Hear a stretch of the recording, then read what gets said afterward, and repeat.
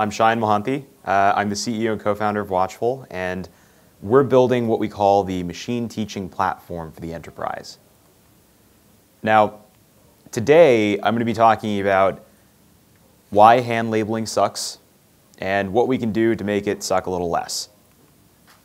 So, um, let's talk about like why even label. So I, I think this is going to be a review for most people here, but um, when we talk about AI in the enterprise, we're generally talking about supervised machine learning, which I'm going to paint with a really broad brush here, but we're generally talking about algorithms that learn from examples. So you give it enough examples of how to do a thing, it learns how to do that thing. So as a result, labeled data is necessary for training really any type of supervised model. And in general, this data is labeled by hand, typically by an army of humans that's recruited in some capacity or outsourced to, and they're given the raw data, and they hand you back labeled data.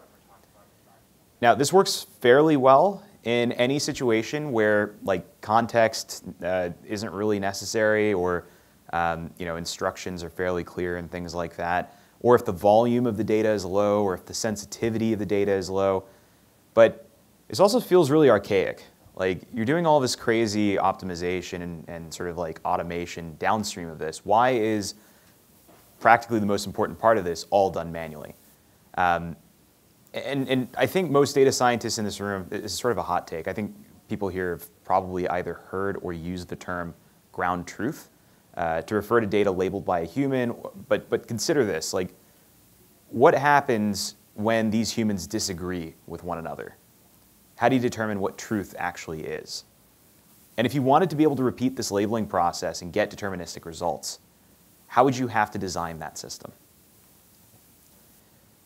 So there are several problems introduced by hand labeling, and the ones I talked about already are part of them, but uh, in general, we can kind of like bucket them into three categories. Uh, firstly, data labeled by hand is inherently bias prone.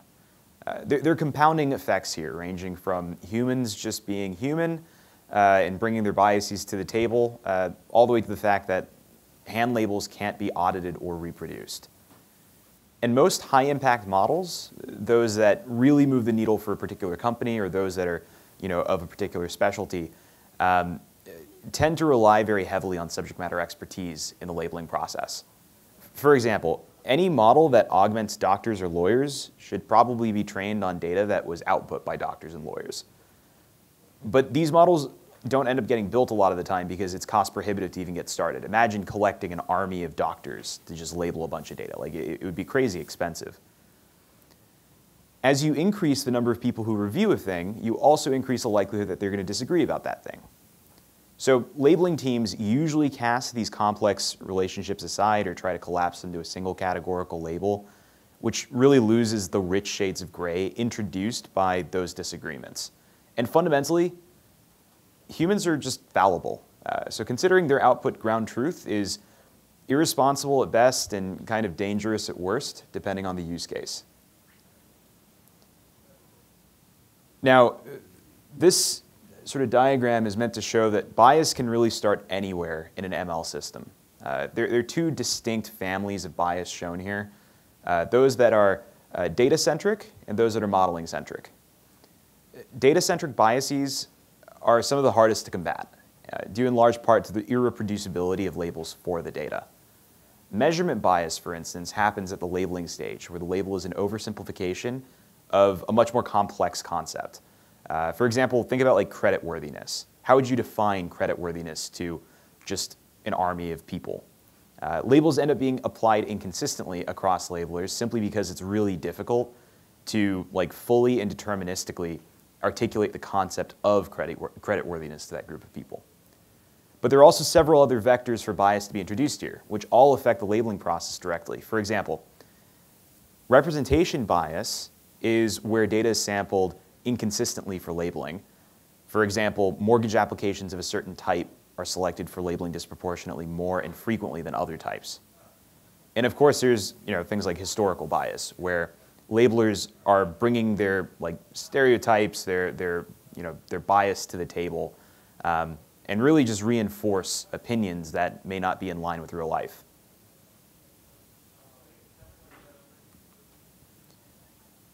one of the critical issues facing data-centric bias is the fact that labels can't re reliably be reproduced or explained. Concretely, there are a wide number of reasons why a labeler might apply a bad label. Um, you know, ultimately humans are fallible. Uh, it could be a simple mistake, like they were tired and clicked the wrong button, uh, or something more complex, like the labeling concept was ill-defined, or they were acting on a bias that they weren't even aware of. If it was a mistake, by definition, it's difficult to reproduce those labels. You know, for example, showing the same labeler, uh, the same row or the same piece of data won't necessarily yield the same label. Um, if the labeling concept was ill-defined, again, it would be really difficult to reproduce the labels as there's no guarantee of consistency uh, across individual labelers, let alone a group of them.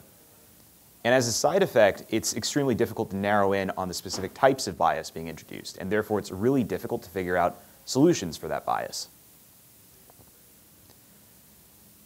Now, there's recently been a huge focus on explainable AI to combat some of these sources of bias, but a lot of these techniques only answer part of the problem.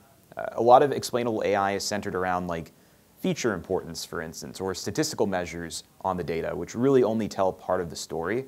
Um, for instance, if we're building a model to classify the creditworthiness of applicants, we could use feature, important, uh, fe feature importance measures to determine potential sources of bias in our data. But the bias could actually be encoded at a level higher than explicit features in our data. It could be across latent features, which will be much more difficult to pin down. As another concrete example, let's say we built and deployed a model that does fraud detection. And at the time that we deployed the model, let's say that we are the experts on fraud and we labeled all the data ourselves and we know that this model uh, was trained on data that indicated 2% of the total volume was fraud. And we know that that data was representative of, of, of real life. We put that model into production. The model says, okay, yeah, 2% of the data I'm seeing is fraud. And we walk away, we do some other things, and we come back a quarter later, and we discover that our model is now telling us that 20% of the data it's seeing is fraud. What happened? Is it that the world shifted out from under us and now the model's predicting incorrectly? Or is it that we're actually seeing an unprecedented 10x increase in the total amount of fraud cases? We actually don't know unless we take a look at what the model is doing and compare it to what it should be doing, which is, again, a labeling problem. Um, so the only way we can really know these things is by digging in and expending human energy, you know, essentially calories, on applying human knowledge, subject matter expertise to the data and seeing where the model lines up or doesn't. And again, it's fundamentally hard, if not impossible, to get real ground truth in situations that require human interpretation, which makes this whole problem that much more complex. Now, fret not, uh, there are several potential solutions to this. Um, think of this more like a survey. Um, there are lots of different alternatives to hand labeling. Um, now, I'm, I'm going to start furthest to the left, you know, the things that require the least amount of supervision, but um, take like machine teaching, for example. Uh, machine teaching is a school of machine learning that focuses on the extraction of human knowledge from experts into a form that models can use to learn from. It's a sort of like umbrella concept that lots of techniques like weak supervision fall under. And it's a useful reframing of typical machine learning problems where there's an overemphasis on the learner or creating the best algorithmic student. And instead, machine teaching focuses on how to make the teacher or the human in the loop several orders of magnitude more efficient. Weak supervision is a technique where functions or programs noisily indicate potential labels, which are then aggregated and use the supervision for downstream machine learning models. This technique in particular uh, has been gaining a lot of popularity as it doesn't require any hand labeled data at all. Though the technique is actually quite hard to reason about a lot of the time. Like, what is a good heuristic in a world where, again, you don't have ground truth? Or in a world where you expect that there's going to be noise? What happens when heuristics overlap? What happens when they conflict? Like, how do you reason about those relationships? It's, it's a non trivial problem. Now, on the exact opposite end of the spectrum, you have the really, really high uh, degrees of supervision systems. So you have things like um, synthetic data generators that may require large quantities of data up front before they're able to output sufficiently useful data. These algorithms model the distribution of a data set in order to generate examples stemming from the distribution, and the generated examples aim to have the same statistical validity as the real data. Now, there are caveats here. If the real data is extremely complex, which in many real world cases it is, uh, it's really difficult to have enough data to train an efficient synthetic model. And I'll, I'll talk a little bit more about this uh, in a little bit. But um, just know that there are caveats when you get further and further down into the supervision space, as well as on the really, really low amounts of supervision. There, there's reasons why you'd use one over the other. Um, now, transfer learning, on the other hand, promises reduced reliance on labeled data to achieve really high quality results. But in practice, if your task is extremely specific, for example, if you're like fine tuning BERT on a medical use case, uh, you might still require a fair amount of labeled data before you actually achieve the level of performance desired. Finally, semi-supervised learning and by extension active learning promise kind of like a middle ground. Um, they have reduced reliance on hand labeling and really they focus a lot of their effort on keeping uh, the humans engaged at the level of just like annotating one data point at a time, but they focus their time on the right data points. And that's interesting because it kind of feels like the best of both worlds. But uh, again, it, it really comes down to like what is your distribution in your actual problem space. And again, we'll, we'll talk about this in just a second. So a second's up. Let's talk about it. Um, uh, the distribution of a problem is extremely important. So these images uh, kind of show the distribution of problems that are fairly common, um, and, and they're, they're across several popular AI research data sets. Um, basically, it's showing the frequency of model classes, and these images indicate that in a lot of these cases, uh, the vast majority of the data actually ends up on the tail of the distribution. So they're rare instances of a class, as opposed to the head, where it's, there's a lot of like simil similarity. Typically in like purely supervised methods, um, they perform really well on common inputs, like in the head of a distribution, but start to struggle where examples are sparse, like in the tail. Uh, and I think most people here probably already know that. Um, but ignoring the tail can be equally painful. Uh, you could end up with a bad model which yields poor economics or um, poor user experiences and, and, and, things like that, or some combination of the two. Um, and when thinking about labeling data like this, it's important to consider that humans are actually uniquely equipped to deal with problems on the long tail. You know, that's what we excel at. We can take a rare case and we can just look at it and be like, oh, that's clearly class X, uh, whereas models have a harder time of doing that. So it's important to consider just how long-tailed your problem is before aligning on techniques for automating the process of arriving at that labeled data. For instance, those problems that skew really heavily towards long tails may not fit an approach like synthetic data generation. On the other hand, a hybrid approach might be good between you know, some higher supervision techniques and some lower supervision techniques along with manual annotation in a smart way. Um, so you kind of have to like balance exactly what your distribution might look like and uh, kind of implement things from there. As I mentioned before, uh, there is a growing area of weak supervision in which subject matter experts specify heuristics that the system can use to make inferences about unlabeled data. As an example, I could write a heuristic that says if an email mentions prescription drugs, it is very likely spam. This would be noisy some percentage of the time, but my doctor might decide to email me about my, my, my prescriptions and uh, you know, that wouldn't be spam. But this would still be strictly better than, uh, better than random at classifying uh, for certain types of spam.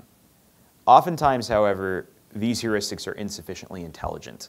Uh, adversarial agents like spammers uh, might catch on to some of the patterns that I'm using um, and change tact. So for instance, they might add uh, invisible Unicode characters or symbols or, or spaces and, and so on. Um, now, I could train small models on these slices of data or introduce fuzziness to my heuristics in other ways, but I will usually end up with less interpretable heuristics than if I just kept the simpler versions. And this can be really expensive in cases like, um, like diagnostic imaging, for instance, where we may need generalizability in our heuristics, but where it's still incredibly important for us to be able to interpret why a particular label was applied, these types of approaches might break down or might be called into question. Machine teaching, again, is an umbrella term for techniques like weak supervision and even active learning, uh, where these approaches can, can be combined into a single workflow designed to extract knowledge from the user as quickly as possible. Uh, and again, if, if, you're interested in how these things can be combined, I'll be talking all about it in the office hours, um, or you can ask me questions afterwards. Um, now, amidst kind of this like increasing concern about model transparency, we're also seeing calls for algorithmic auditing. As I mentioned before, it's really hard to pin down the why from a model's output since bias could be introduced at multiple points throughout the machine learning workflow. Uh, common explainable AI techniques can provide ways to calculate some parts of the why, uh, you know, from, from the modeling perspective at least. Uh, but they inherently can't go into the why for the data, and that's actually very, very important. Um, machine, machine teaching techniques like weak supervision uh, more directly encode expertise and hence bias uh, as heuristics and functions, making it easier to evaluate where labeling went awry and why. Um, and when you encode your knowledge as functions, you can easily walk backwards from a label and assess why it was even applied and how it could be changed if needed. If bias is encoded, remedying it is as simple as editing a function. That said, pure weak supervision systems are specifically good at dealing with the head of a distribution, but frankly are really bad at handling the tail. Creating a new heuristic for each unique instance of a class is cumbersome at best and like strictly slower than hand labeling at worst. Uh, on the other hand, subsampling parts of, of the long tail and training models that can generalize well uh, can be an effective strategy for managing this downward pressure. Uh, but may sacrifice auditability. So your mileage may vary depending on uh, the constraints of your task. Um, for instance, you know, how would you audit an ensemble of several models trained on various subsamples of a, of a data set, and how would you detect and mitigate bias introduced by one or more of those models? It's, it becomes like this cascading problem uh, across your ensemble, which you need to deal with intelligently if you're going to do this.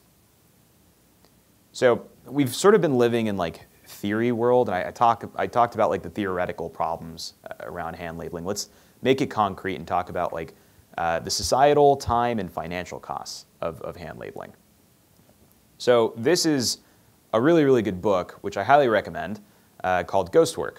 Um, so for context, uh, most data labeling services operate large armies of contractors out of low-wage countries.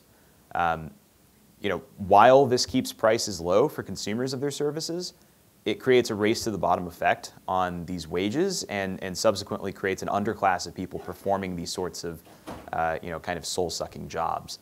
Um, now, they termed this work ghost work because you don't really see these people and they're not technically part of your organization.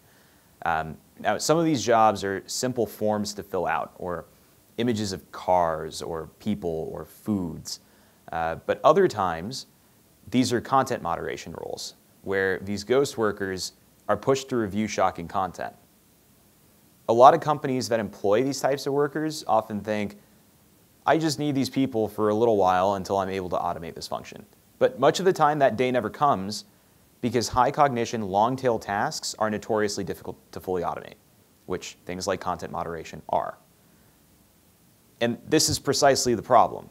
Uh, that's historically actually been the problem since the industrial age, uh, treating badly people who do the contingent work that can't quite be automated yet.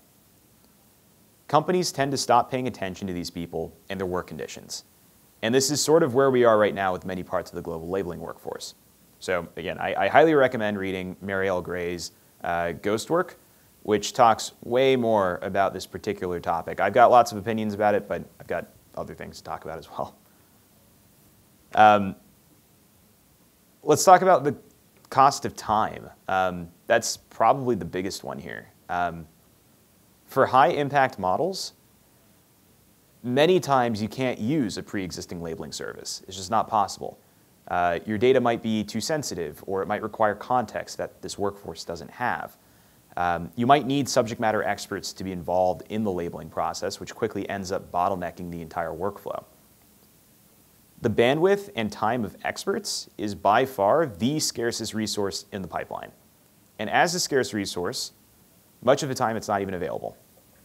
For instance, if you're doing like hot dog, not hot dog type work, it's fairly easy to farm out 10,000 labeled examples to an army of humans on some crowd management platform. That's not a problem. But if you're, doing, if you're looking to do something more specific, like cancer, not cancer, now your army of humans must be specialists. And not just physicians, we're, we're talking about oncologists or radiologists, folks like that. Now, let's imagine, let's do like kind of a thought experiment together. Let's imagine that you have 100,000 MRI images. And you have a team of the world's best radiologists and oncologists. They are able to look at, at, at an MRI image and within a minute, with 100% accuracy, tell you if it's cancer or not cancer. No problem. You give them this data, and therefore all of this data just has to be reviewed, reviewed once. You know, everyone just looks at one image and is able, able to give you 100% accuracy. That means that they're going to spend 100,000 minutes evaluating this data set and labeling it, which is about 1,600 human hours. Uh, and if they're billing out at like $1,000 an hour, we're looking at conservatively around like $1.5 million before you get to your first prototype model. Like that's cost prohibitive for pretty much anyone unless you're Google. Um, this is precisely the problem. You know, these are the use cases that move the needle for most companies. These are the things that move the bottom line. But they're cost prohibitive to even get started. So this also doesn't even account for any iterations you might have to do. Again, we were living in a fairy tale land where we assumed that all these you know, physicians were able to just annotate things perfectly the first time, but more likely than not, it requires several iterations, and each time you do this, it costs you know, a significant amount of money. And to add to this, data scientists are, are subject matter experts too. The time it takes to analyze and correct errors in labeling by data scientists is also very expensive, which compounds this problem even more. So in the labeling process, and I think this comes to a surprise, to, the surprise of no one, uh, the most expensive part of it is just human time being spent. And this is a problem across every vertical.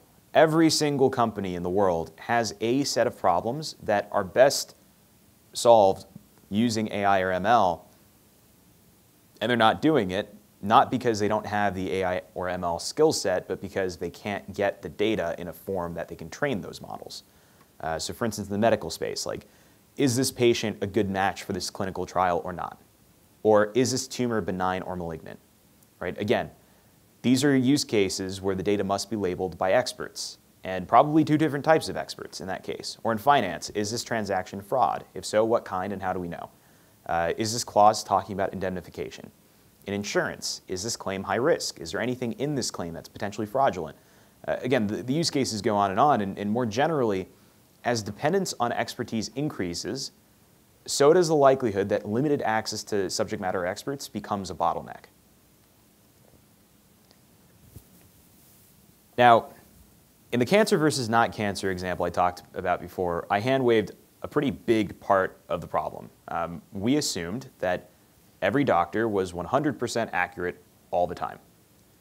And we know as humans that that's very unlikely to be the case, but um, these nice people actually proved it. Um, as I mentioned earlier in this talk, uh, in the real world, there's often no such thing as ground truth. It just doesn't exist a lot of the time unless it's self-evident in the data.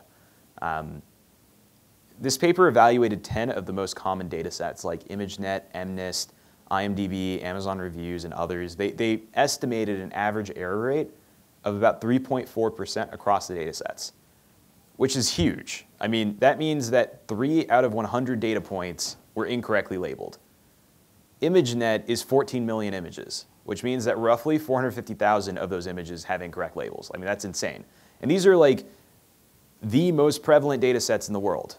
These are the data sets with the most eyes on them and the most citations throughout all academic literature. Imagine what's happening in the data sets of the average company. Naturally, the paper indicated that once the labels were corrected, overall model performance increased substantially. But even finding these errors is a non-trivial task, unless the labels themselves, again, are explainable or reproducible. And again, as I've reiterated ad nauseum by now, uh, in most cases, ground truth doesn't exist. the measurement of bias in machine learning often focuses on model performance across identity subgroups, um, you know, at least with respect to ground truth labels. Uh, however, these methods don't directly measure the associations that a model may have learned, uh, for example, between labels and identity subgroups. Uh, in the absence of ground truth, practitioners have to investigate more clever techniques to measure bias across subgroups and associations within the label space. Uh, so this particular paper proposes uh, normalized pointwise mutual information. Uh, they, they indicate that it's a promising approach for doing just that, where they determine a statistical measure of association that is used to derive the degree to which models have learned stereotype-aligned associations regarding sensitive identity labels. So they figure out the co-occurrence between a particular identity, identity level and a negative outcome. And they determine if that's you know, randomly distributed, normally distributed, or there seems to be a correlation that is in line with a negative stereotype. And this is just like an interesting thing that I found the other day. Um, I happened to stumble upon this, but apparently DistilBERT loves movies filmed in India, but not in Iraq. There's likely several things that are happening here, like um, you know, there, there's potentially model bias in that DistilBERT was designed in a way where uh, at least a sentiment classifier can only classify into positive or negative. There's no neutral class. So it has to predict sentiment on these neutral statements, which makes no sense. So this could be model bias, for instance. On the other hand, statements like um, I tried like, I was born in Germany. Uh, that consistently yields a negative sentiment, which is a very, very interesting case, you know, potentially of like biased model reflection due, significant, due to significantly leaked bias built up in the pre-training process. Um, so like, even some of the most scrutinized and widely used models in the world have insane amounts of bias. Uh, so it's important to be able to like go backwards and figure out why that bias even existed. And again, fret not.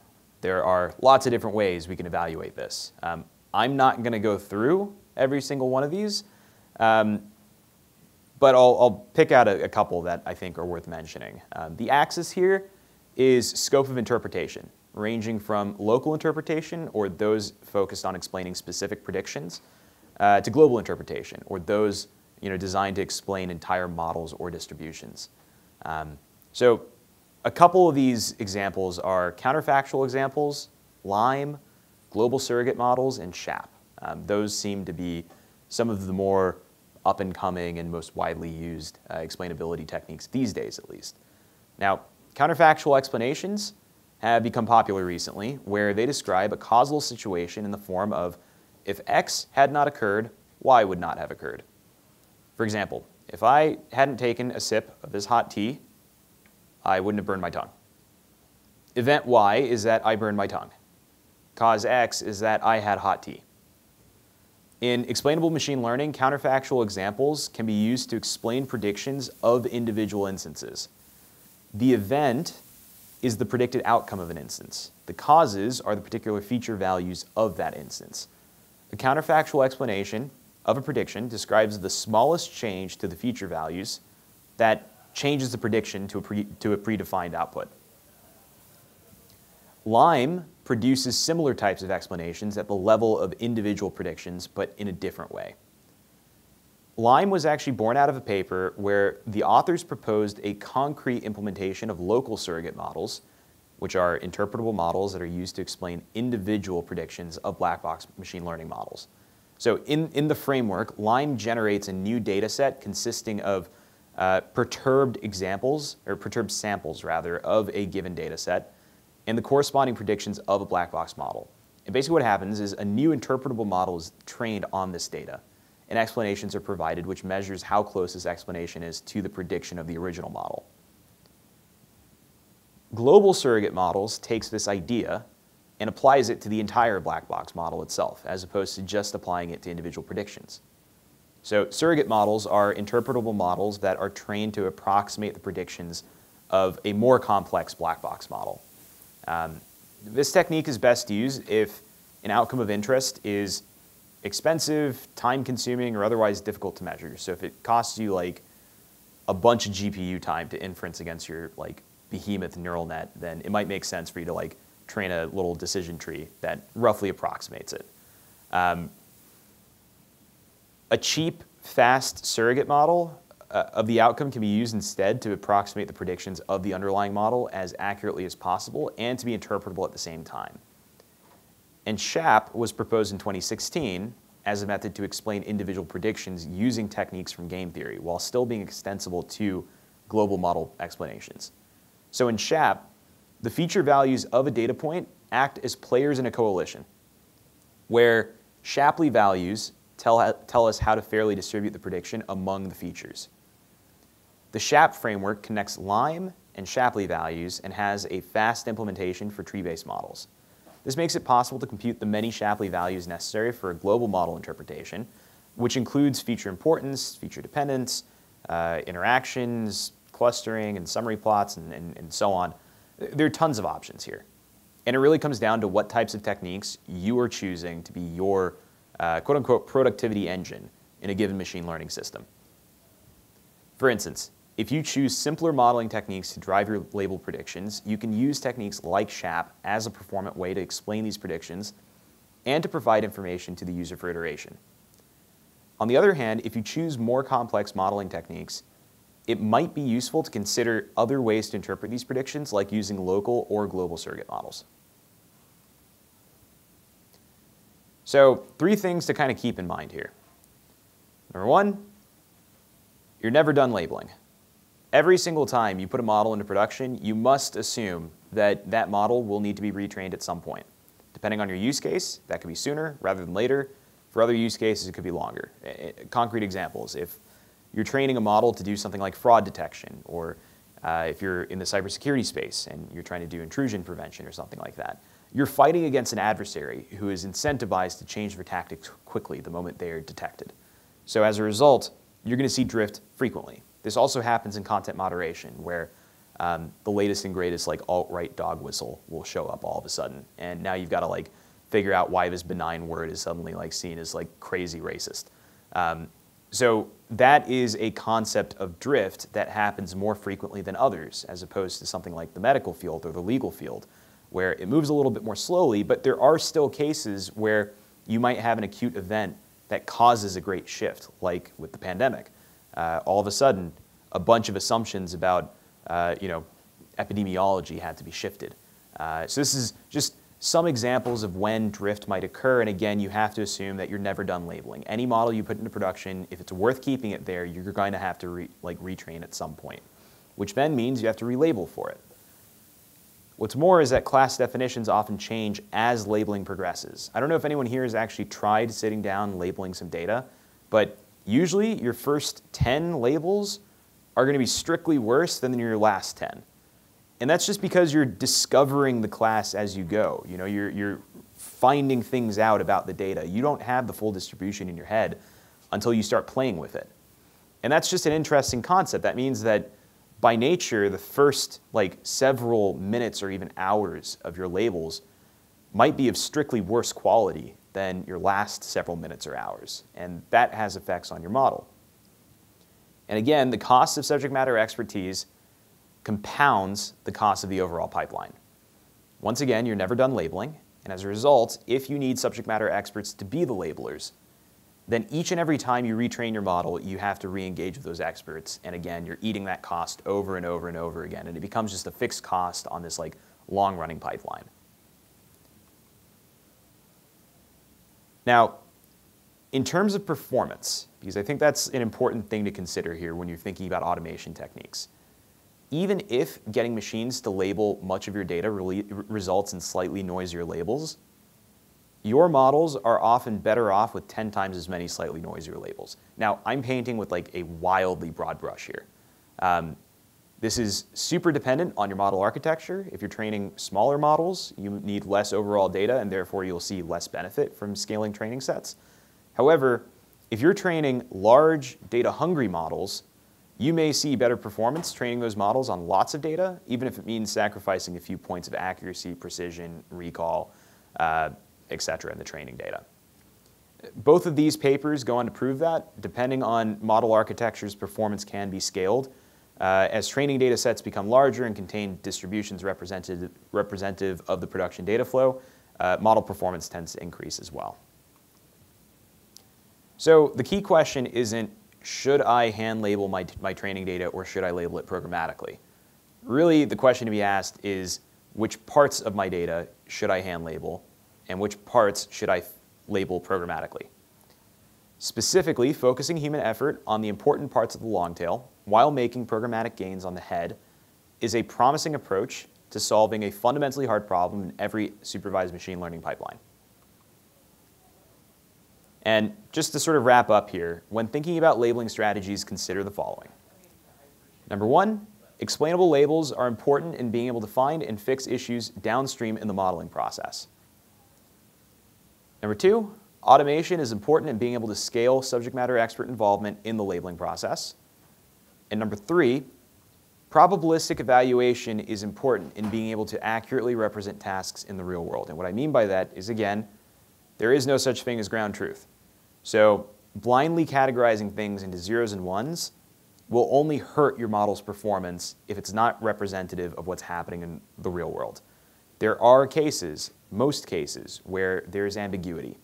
And having that ambiguity as part of the, uh, of the labeling process will lead to better models because your model is able to find a richer relationship between the target value and the input. There are tons of ways that you could combine techniques we talked about today to have these three properties. Naturally, um, I have lots of opinions on the optimal combinations of these processes, uh, and I'm happy to talk about them at length in office hours today. So yeah, that's it. Thank you so much.